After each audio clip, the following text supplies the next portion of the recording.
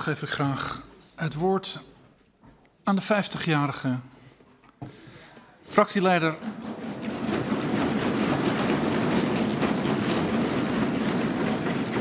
van de staatkundige gereformeerde partij, de heer Stoffer. Hij moet eraan wennen, zegt hij. Ik zou het u niet geven hoor, 50 jaar. Eh, dank. Eh, de vraag is natuurlijk hoe ik er morgenochtend bij loop. Dat, uh, ja.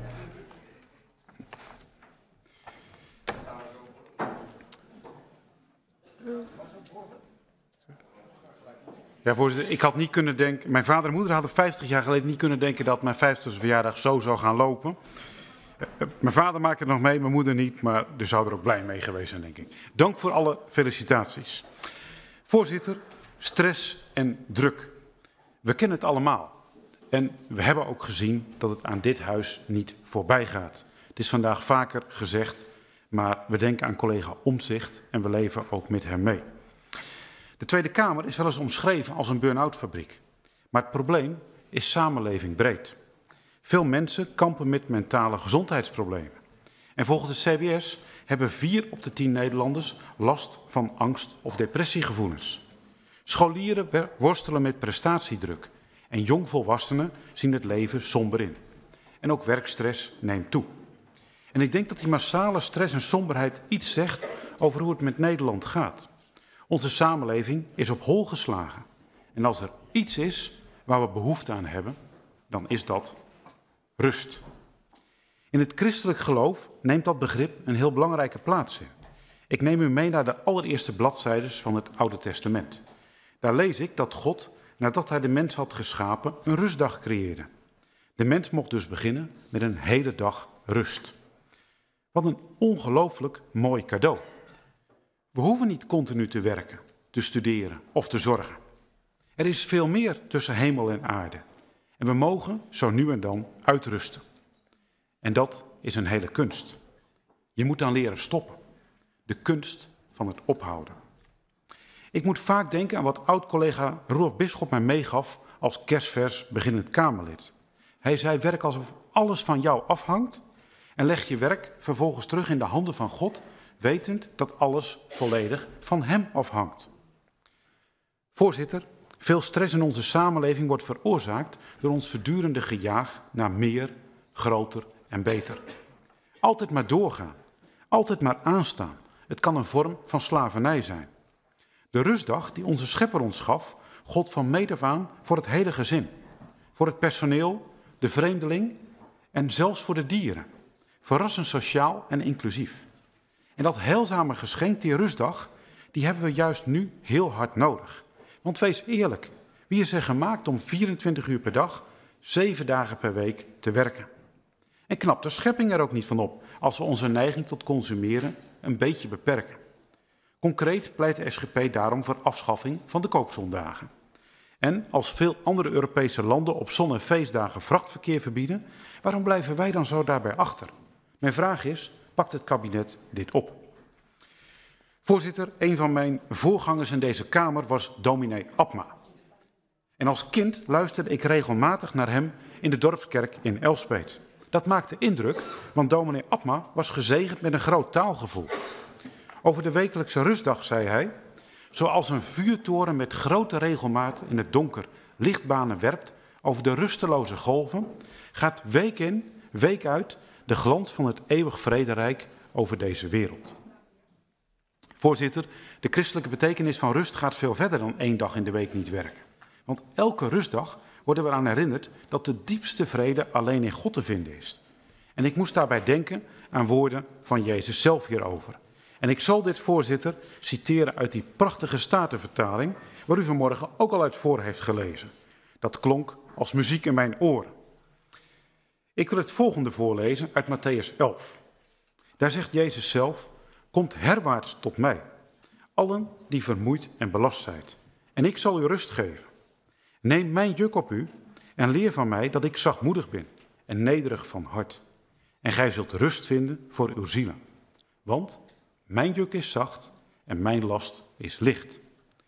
En voorzitter, ik snap op dit tijdstip dat er veel langs je heen gaat. Maar ik zou zeggen, als u iets wil onthouden, doe dan dit. Want die woorden van Jezus zijn hoogst actueel.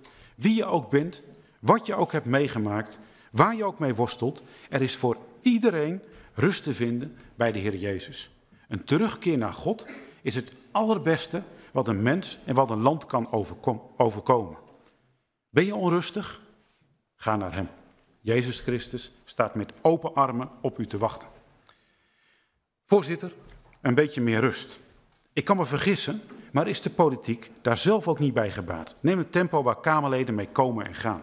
De snelheid waarmee politieke verlossers opkomen, blinken en verzinken.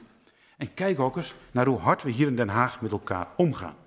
Ik zal eerlijk bekennen dat ik na het debat over de regeringsverklaring voor het zomerreces een paar weken buikpijn had. En niet alleen ik, veel mensen uit onze achterban die ook positief zijn over de samenstelling van deze Kamer en de samenstelling van dit kabinet. Maar ik moet erbij zeggen, voorzitter, tot nu toe gaat het echt stukken beter. Dus als we dit morgen volhouden, denk ik dat uh, ik in ieder geval zonder buikpijn wegga, maar dat mensen in het land ook een stuk blijer zijn met de manier waarop we het deze dagen met elkaar doen. Voorzitter, de taak voor het nieuwe kabinet is niet gering, want er zijn stevige beloftes gedaan. En de verwachtingen van burgers zijn hoog. En de verantwoordelijkheid om dit waar te maken is groot. Het vertrouwen mag zijn toegenomen, maar het blijft broos. En kabinet en coalitie moeten nu gaan leveren. Minder gericht op de waan van de dag of de rel van de week. Meer gericht op het oplossen van de zorgen van gewone mensen. Los die migratiecrisis op. Pak de woningnood aan en bied perspectief aan boeren en vissers. De SGP roept het kabinet nadrukkelijk op: kies voor evenwichtig, doordacht en stabiel beleid. Neem de afschaffing van de salderingsregeling. Eerst moest de geleidelijke afbouw van tafel, omdat het burgers te veel kost. En nu krijgen we een abrupte afschaffing. Ik vraag me af, is dit gejojo nou verstandig? Streng en rechtvaardig asielbeleid, niet meer dan logisch. Maar laat het wel effectief en juridisch deugdelijk gebeuren. En mijn vraag is, waarom kiest het kabinet voor activering van het noodrecht en niet voor spoedwetgeving? Ik hoop daar graag een helder antwoord op te krijgen. En ik denk nog steeds dat spoedwetgeving veel verstandiger is. Voorzitter, botte bezuiniging op ontwikkelingssamenwerking. Mogen we zo omgaan met onze verre naasten? Of wat te denken over het gesoebat over de lasten voor ondernemers? Kunnen we het kabinet houden aan het beloofde financieel degelijke beleid? Dus niet eerst alleen maar zoet en daarna het zuur. Voorzitter, een fiscale maatregel die de SGP als een graad in de keel steekt, is het plan om de giftenaftrek te versoberen. Dat kwam bijvoorbeeld ook aan de orde in de brief van het Breedberaad van Protestantse Kerken. En heel goed dat dat nu wordt verzacht, dat we die pijn een grotendeels wegnemen. Maar toch is mijn vraag, waarom nemen we deze maatregel niet helemaal weg? Waarom schrappen we hem niet gewoon helemaal? De heer Jette. Ja, voorzitter, de heer Stoffer noemde net in een bijzin ontwikkelingssamenwerking. En ik had op, in uw verkiezingsprogramma op uw website nog even teruggelezen wat de SGP eh, daarover heeft opgeschreven. En ik moet zeggen, dat raakte me eigenlijk heel positief. Mijn vraag aan de heer Stoffer zou dus ook zijn als het kabinet doorzet met 300 miljoen bezuinigen op ontwikkelingssamenwerking volgend jaar, oplopend naar 2,4 miljard in 2027. Kan dat dan op instemming rekenen van de SGP-fractie of zult u hier of in de Eerste Kamer zo'n slechte OS-begroting wegstemmen? Voorzitter, uh, mooi dat de heer Jetty naar vraagt. En in ons verkiezingsprogramma staat heel wat anders dan in de kabinetsplannen staat. Um, ik heb het nu aangestipt, doe ik niet voor niets. We gaan daar straks bij de begroting buitenlandse handel ontwikkelingssamenwerking. Ja, hij zal nu anders heten, maar ik vond die naam altijd wel erg mooi. Ik wrijf het er nog maar een keer in. Maar um, daar zullen wij zeker daar de vinger bij leggen en kijken van wat dit gaat betekenen. Maar um, wij gaan dit niet bij voorbaat slikken. Maar ik zeg ook niet dat we bij voorbaat zullen zeggen van dit gaan we niet steunen. Maar we gaan nadrukkelijk die begroting behandelen en onze inzet is helder. Die is zoals ons verkiezingsprogramma eruit ziet. Voorzitter, heel kort nog, want denk dat wat de heer Stoffer en de SGP in hun verkiezingsprogramma heel scherp hebben opgeschreven, is dat we eigenlijk twee verantwoordelijkheden hebben in de internationale context. Eén, bijdragen aan vrede en veiligheid door ook onze verantwoordelijkheid te nemen met een fatsoenlijk defensiebudget. Daar heeft de heer Stoffer zich ook jarenlang hard voor gemaakt. Dat zit goed in deze miljoenennota. Maar ook zorgen voor de allerarmsten op deze planeet. Mensen die echt steun van anderen nodig hebben voor bijvoorbeeld voedsel, schoon drinkwater of fundamentele basisvoorzieningen. En die dreigen wel echt onder druk uh, te komen staan. Dus ik ben blij te horen dat de heer Stoffer en zijn fractie ook op die manier naar de OS-begroting zullen gaan kijken. Waarvan akte, voorzitter. En ik hoop dat we daar samen optrekken, zeg ik tegen de heer Jetten. Hij is uiteindelijk naar de 2% NAVO-norm gegaan. Um, uh, die 0,7 hadden we altijd al gezamenlijk, 0,7% uh, van de, de OESO-norm, zeg maar, om die te hanteren. Dus ik hoop dat we samen optrekken om het kabinet zoveel mogelijk in de goede richting te bewegen. Voorzitter, ik ga verder met mijn betoog. Want de SGP kijkt niet alleen met belangstelling uit naar de uitvoering van de kabinetsplannen. We zullen ook de komende periode zelf met goede voorstellen blijven komen. Zo blijven wij voortvarend werken aan onze initiatiefwetten om de positie van het gezin in de grondwet te verankeren, de 2% NAVO-norm wettelijk vast te leggen en een recht op rouwverlof te regelen. En we hopen uiteraard dat het kabinet dit alles omarmt. Voorzitter, waar ook een beetje rust nodig is, is in het landelijk gebied, op het boerenerf want de nood is daar hoog. Geef duidelijkheid door haalbare doelen. En zadel boeren niet op met onnodige bemestingsregels in gebieden waar geen problemen met de waterkwaliteit zijn. Verlicht het juk van de regeldruk. En goed dat het kabinet investeert in agrarisch natuurbeheer, maar laat weidevogels, vlinders en boeren niet wachten. Mijn vraag is, wil de regering al in deze begroting hier een begin mee maken? Voorzitter, als er iets is in onze tijd wat onder druk staat, dan is het wel het gezin. En het klassieke gezin is van ouds en overal op de wereld de pijler van de maatschappij. Als in een gezin liefde woont, dan bloeien vaders, moeders en kinderen op. Rust, reinheid, regelmaat. De overheid moet gezinnen daarom waarderen en ondersteunen. En helaas gebeurt dat nu niet al te veel. Een gevolg hiervan is dat onze bevolkingsopbouw niet gezond in elkaar zit. De SGP pleitte bij het debat over de regeringsverklaring voor een gezinsnota. De premier was toen nog niet erg toeschietelijk, maar ik geef hem heel graag een herkansing. Dus alsnog de vraag of het kabinet bereid is om zo'n gezinsnota op te stellen. Het is ook nodig dat we gezinnen financieel meer steunen. Concreet denkt de SGP aan het verhogen van het kindgebonden budget voor middeninkomens. En verder blijft de SGP hameren op de belastingkloof tussen éénverdieners en tweeverdienersgezinnen. Kan de premier bevestigen, want we hebben die indruk namelijk, dat die kloof volgend jaar licht afneemt. Maar gelijk daarbij de vraag, wat gaat hij doen om dat gapende gat verder te verkleinen? De bouwstenen voor een rechtvaardiger belastingstelsel liggen klaar, maar het is voor de SGP cruciaal dat dit kabinet daarmee aan de slag gaat. Voorzitter, dat rust voor kinderen cruciaal is, dat zien we bij echtscheidingen. Kinderen uit gebroken gezinnen zijn helaas oververtegenwoordigd in alle vormen van jeugdhulp. Wat een pijn en wat een verdriet. Maar toch kijkt de politiek weg van deze rauwe realiteit. Laten we dit taboe doorbreken om kinderen, ouders en de samenleving verder te helpen. Is het kabinet bereid om te investeren in versterken van relaties, bijvoorbeeld door relatietherapie landelijk te vergoeden? Voorzitter, uit het begin van mijn betoog konden we wel opmaken dat de SGP zich ernstig zorgen maakt over de mentale gezondheid van tieners en jongvolwassenen. De GGZ zit volkomen vast. En een groep psychiaters stuurde een brandbrief naar het Openbaar Ministerie over de toenemende vraag naar euthanasie door kwetsbare jonge mensen. Het hoofdlijnenakkoord spreekt uit dat er geen verruiming komt van de euthanasiewet. Maar intussen lijkt wel degelijk sprake van een sluipende uitbreiding van de euthanasiepraktijk. Mijn vraag is aan het kabinet of ze bereid is om dit een halt toe te roepen. En voorzitter, als we spreken over kwetsbaar leven, het raakt mij dat het ongeboren leven in ons land nog nooit zo weinig bescherming had als nu. En mijn vraag aan het kabinet is, wat doet u om vrouwen in staat te stellen om te kiezen voor het leven en hun kindje te behouden? Voorzitter, vrede en rust is op veel plaatsen in deze wereld ver te zoeken.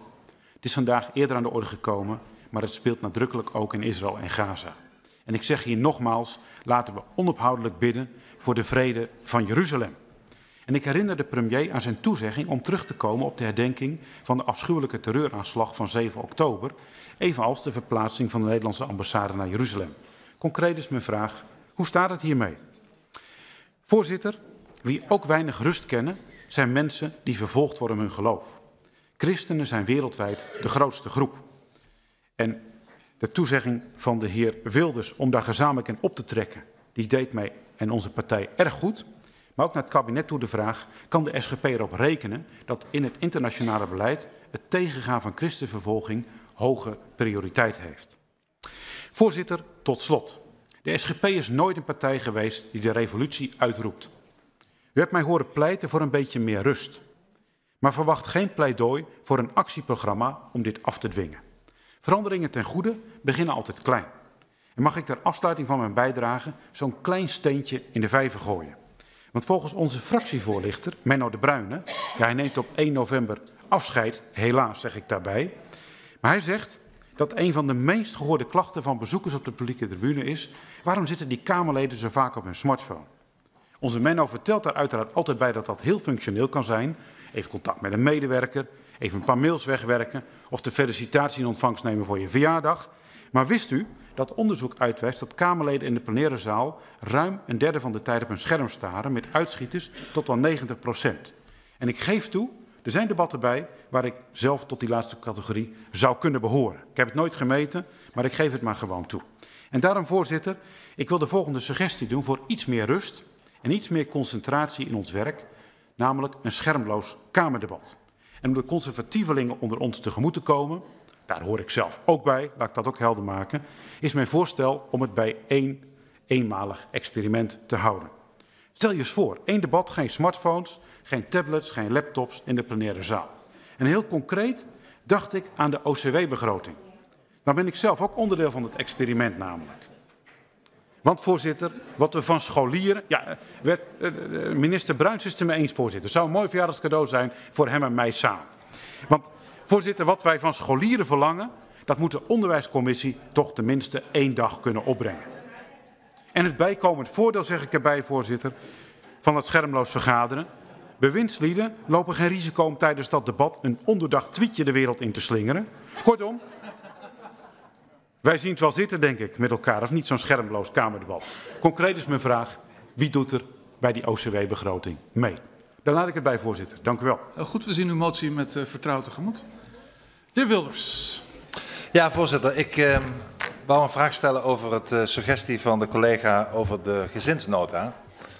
En ik moet u zeggen, het, uh, het waarderen van het gezin spreekt mij enorm aan. Maar ik zou me aan u willen vragen, aan de uh, collega, wat u daarmee bedoelt. Ik kan me herinneren dat uh, de heer uh, Rauwvoet ooit in 2008 een nota schreef over het gezin.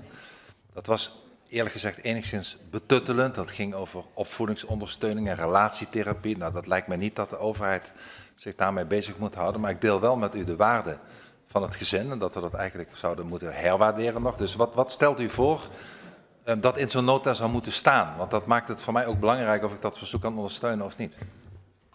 Uh, voorzitter, daar valt over te praten, maar ik heb natuurlijk iets gezegd over die klassieke gezinnen, ook iets over de nood die er is in gezinnen. Dus het gaat me eigenlijk om dat we laten zien van, hé, hey, we willen gezinnen op allerlei mogelijke manieren ondersteunen. Um, dat zit in de fiscaliteit, hè. daar heb ik natuurlijk het een en ander over aangedragen, dat gezinnen ook gewoon rond kunnen komen. Dus het gaat erom dat we gewoon gezonde gezinnen met elkaar maken. Het hoeft niet betuttelend te zijn, Um, daar ben ik helemaal niet van, daar is de SGP ook niet van. Het moet niet achter de voordeur komen.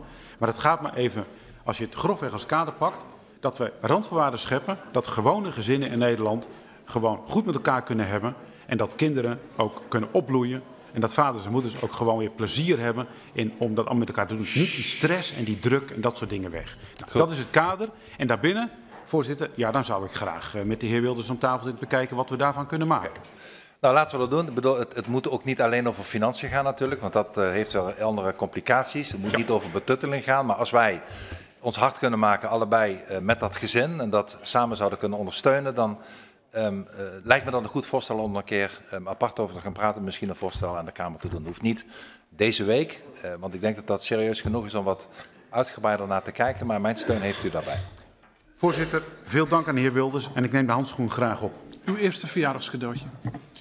De Jette. Ja, voorzitter. De suggestie van de heer Stoffer om een keer te experimenteren met een debat zonder smartphones. Um, wij hebben nog niet zo heel lang geleden in onze fractievergadering een verhitte discussie gehad. Naar aanleiding van zo'nzelfde soort voorstel van de heer Snelle. Uh, die net uh, helemaal opveerde in de bankjes toen de heer Stoffer uh, dit, dit voorstel deed. Dus ik heb even kortsachtig overleg gehad in ons vak. Um, en uh, de leden Paternotte en Rodekerk die durven deze uitdaging wel aan. Um, om uh, debat over de OCW-begroting zonder die smartphones te doen. Om te kijken of dat het uh, hier ook net zo goed werkt als in de schoolklas. Voorzitter, dan zeg ik via, de heer Jet, ja, via u naar de heer Jet toe dat ik zijn fractiegenoten hartelijk dank. Wij gaan met elkaar doen en ik denk dat de rest ook gewoon meedoet. Dat als SGP en D66 elkaar kunnen vinden, ja, dan, dan, dan kan het toch haast niet meer misgaan. Dank u wel.